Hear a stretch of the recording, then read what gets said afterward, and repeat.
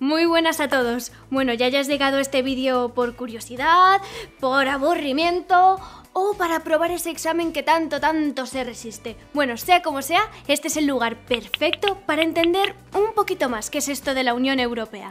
Ayuda extra para los estudiantes, aquí os dejamos en comentarios.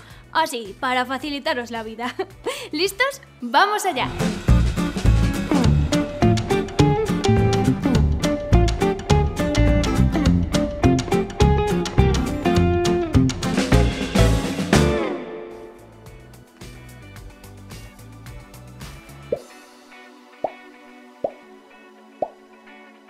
Os suena esto, ¿no? A esto hay que sumarle instituciones como el Consejo Europeo, que no es lo mismo que el Consejo de la Unión Europea, que nada tiene que ver con el Consejo de Europa, que ni siquiera es una institución de la Unión Europea. Bueno, tranquilos, que esto es mucho más fácil de lo que parece. ¿Estáis listos? Pues empezamos por el principio.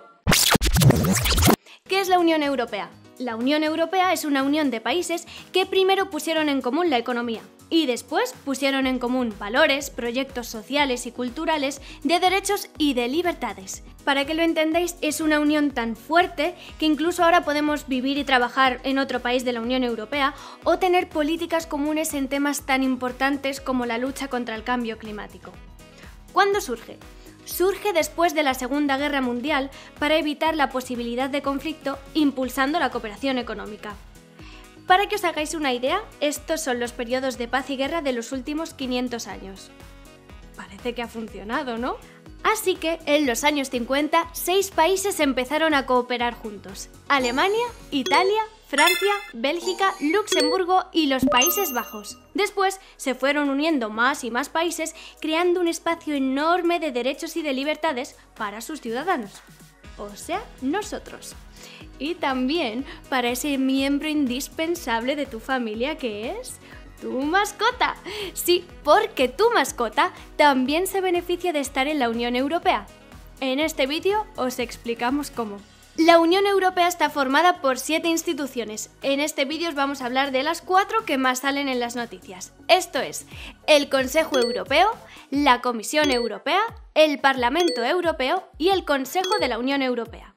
Vale, ¿Qué hace el Consejo Europeo? El Consejo Europeo está formado por los primeros ministros y los presidentes de los países miembros. Aquí se deciden qué temas van a tratar. Más medio ambiente, hecho. Más digitalización, hecho. Luego, en la Comisión Europea se toma nota de esto y se proponen leyes.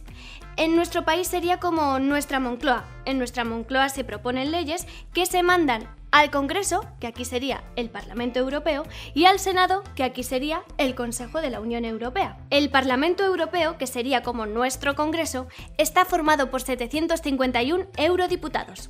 Aquí se hacen las correcciones de leyes y se deciden si se aceptan o no se aceptan. Nosotros lo elegimos cada cinco años. El Consejo de la Unión Europea está formado por los ministros de los países miembros y nosotros lo elegimos en elecciones nacionales normalmente cada cuatro años. Y hace lo mismo que el Parlamento Europeo. Así que fíjate lo importante que es cuando vamos a votar. Así que correcciones por aquí, correcciones por allá, por aquí, por allá, por aquí, por allá. Al final es como una partida de ping-pong hasta que todo el mundo por fin se pone de acuerdo y la ley se pone en marcha. Así que cuando oigas en las noticias Bruselas aprueba, no olvides que son los gobiernos nacionales los que marcan las líneas, la Comisión Europea la que propone las leyes, y los eurodiputados y los ministros nacionales los que dicen si aceptan la ley o no. Todo un ejercicio de democracia europea. Ahora bien, ¿qué puede y qué no puede hacer la Unión Europea?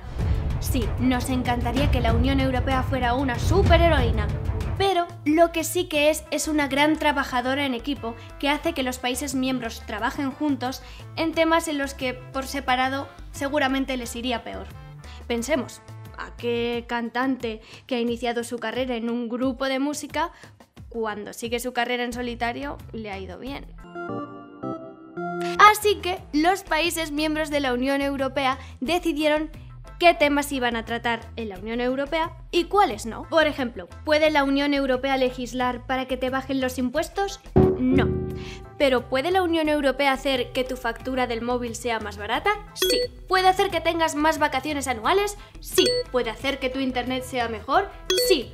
¿Puede acabar con el roaming? Sí. ¿Mejorar las políticas de medio ambiente? ¿Hacer que lo que comas sea mejor? Y muchas más cosas más que os dejamos por aquí en este vídeo. Puede que las cosas que leas sean un poco rollo, como si un alga o no puede usarse como ingrediente o la cantidad de sal que debemos usar, pero es que son imprescindibles para mantener nuestra calidad de vida y nuestra salud. Y si tenéis cualquier duda o sois curiosos y queréis saber más cosas, siempre podéis llamar o escribir un email a nuestros colegas de Europe Direct Contact Center. Y nada, por aquí os dejamos más vídeos. ¡Hasta la próxima!